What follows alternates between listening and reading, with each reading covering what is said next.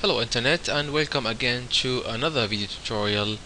Uh, this time we are going to cover congruence. We won't go too deep on this. I'm just going to scratch the surface. I'm going to define what congruence is in the context of modular arithmetic and then uh, give a couple of examples. After that we'll just have a look at some properties of congruence. Now before I start, I'm going to be assuming that you're familiar with modular arithmetic. If not, please uh, look up modular arithmetic in my uh, YouTube video channel. I have a video on that, just a, a, a, sort of overview of modular arithmetic. I'm going to be assuming that you are also familiar with the mod operator, with the that division and the remainder, with uh, uh integer division in general. Again, if not, please have a look at uh, my YouTube channel. There are videos on modular arithmetic, on the mod operator, on uh, you know prime numbers and co-primeness and things like that. Now let's go straight ahead to the contents of my slides in this video. Now congruence.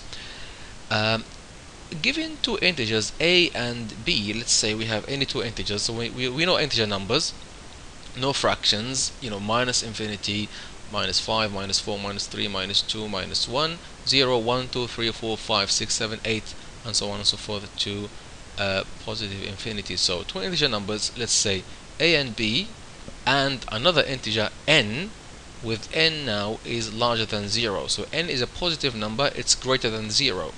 So we have three integers a, b, and n. n needs to be greater than 0. We say that a is congruent congruent to b modulo n remember this a is congruent to b uh, modulo n or we use this sort of equivalence symbol so this reads a is congruent to b in modulo n if the value of a minus b if we subtract a minus b the value the result of that is divisible by n i.e. if a minus b is a multiple of n. So again we have three integers a, b, and n, and n needs to be greater than 0, so 1, 2, 3, and above. We say that a is congruent to b modulo n, written like that with the equivalence sign, so a, that reads a is congruent to b modulo n. If the value of a minus b, so what we do is, if we want to test for congruence, what we do is, we have the three numbers and then we do a minus b or, or, or b minus n and we check if that is a multi if the result of the subtraction is a multiple of n.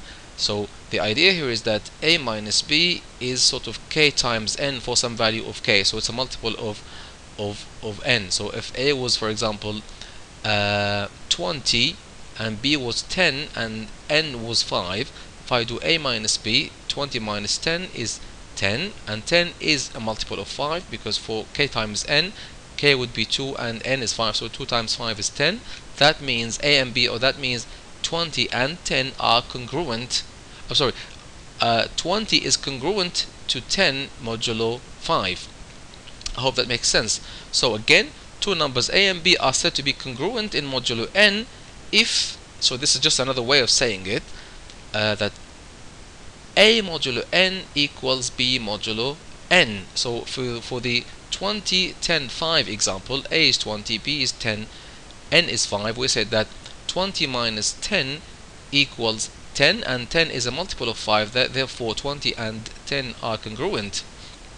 Modulo 5 we another way of checking is we can check 20 mod 5 and 10 mod 5 if they're equal then that means 20 and 10 20 is congruent to 10 in modulo 5 so that, that's the idea here just so another way of saying it that 20 a mod n so 20 mod 5 uh, is 0 and b mod 5 uh, 10 mod 5 is again 0 so they're equal that means a is congruent to b or 20 is congruent to 10 modulo 5 again remember I'm assuming you're familiar with the mod operator. If not then watch my video on uh, modular arithmetic.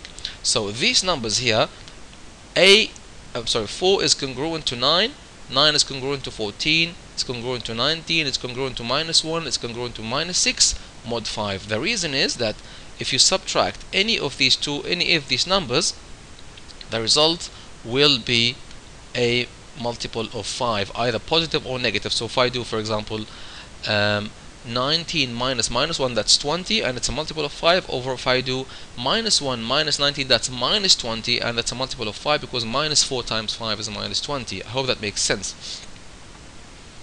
Um, 73 is congruent to 4 modulo 23 21 is congruent to minus 9 modulo 10 if you compute 73 mod 23 and 4 mod 23 they will be equal they will be equal according to this concept here.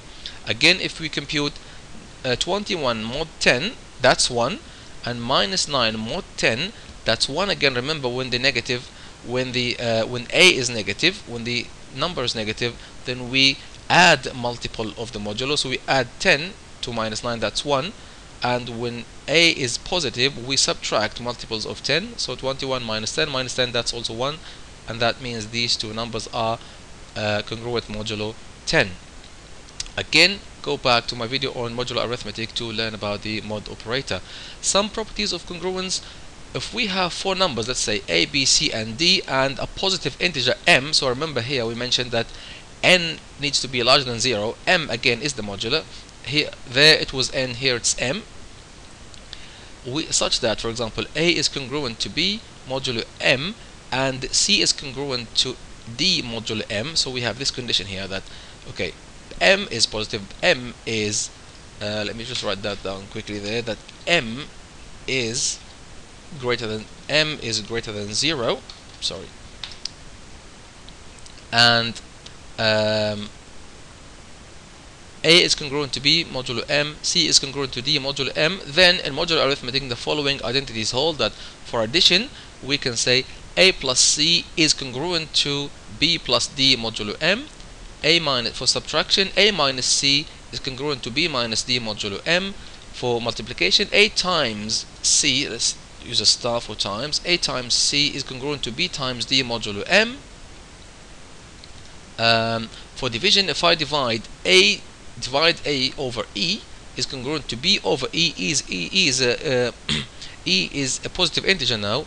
That a over e is congruent to b over e modulo m over the GCD of m and e. The GCD is the greatest common divisor uh, divisor of m and n GCD and I have a video on that. Please look it up on my YouTube channel. I think I named the video the Euclidean algorithm for finding the GCD, the greatest common divisor of two integers. So e is a positive integer that divides a and b. So e is a positive integer that divides a and b. Remember here we're speaking about uh, um, integer division, so no fractions and no remainder in this case. Uh, exponentiation, if I raise a to power e and b to power e, uh, here it says a to power e is congruent to b to power e modulo m where e is a positive integer. Again uh, another property of congruence. But in general I'm sorry going back here I'm assuming that e, it's trivial for you now to work out any example for this as long as you're familiar with the mod operator and you understand the concept of congruence. Some other properties that um, if A is congruent to B modulo n, then that implies that B is congruent to A modulo n, yes? So A is congruent to B modulo n implies that B is congruent to uh, A modulo n, and I, have actually spoken about that here when I said, oh, just to go over it again here, I can say minus 1 is congruent to minus 6 modulo 5, or minus 6 is congruent to minus 1 modulo 5, because if I do this test here, A mod n and B mod n, the results will be the same for the two integers if I even if I swap B and A and B. Another one is that if I have, for example, A is congruent to B modulo n, and I have B is congruent to C modulo n, that means A is congruent to C modulo n. Yes? So we again had a similar example here, but now with multiple numbers, not three. So we, here we have A, B, and C, but here we have you know 4 9 14 19 minus 1 and minus 6 any two of these uh, uh, integers are congruent modulo 5 I hope that makes sense. I the last video was too long. That this is why I tried to keep this one short. I hope everything is clear by now. And these things are very important. And by the way you must have noticed now when I when we use modular arithmetic that the numbers we deal with are relatively small. These things are at the heart of our day-to-day life at the heart of encryption for example in our uh, bank cards for uh, sending and receiving for signal transmission anything like that for encryption in general encryption and decryption these things are at the heart of that and hopefully they are making sense to you. I'm explaining these in order to uh, get you familiar with modular arithmetic so we can explain how the RSA algorithm works and hopefully to get you started with encryption. Thanks very much for watching and I'll see you next time